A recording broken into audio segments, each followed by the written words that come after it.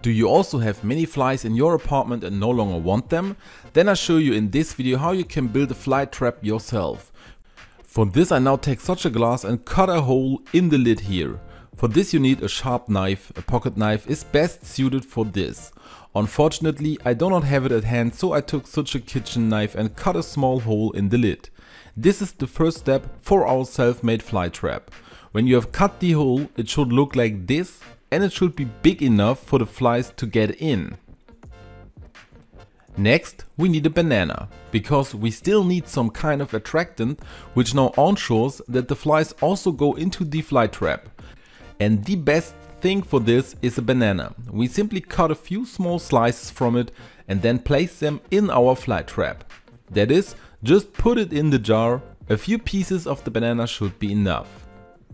And then we can put the lid on it.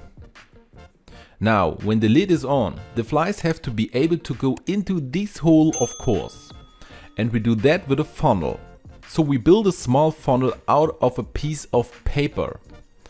I have a normal A4 sheet of paper and I'm turning it into a small funnel. You can fix it up there with a piece of tape if it doesn't hold completely. And the hole at the bottom should of course be big enough so that the flies can fly into it.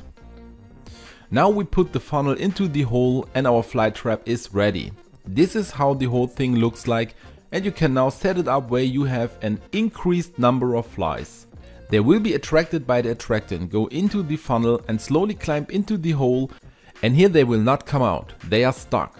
The flies do not die, you can simply let them out again in nature.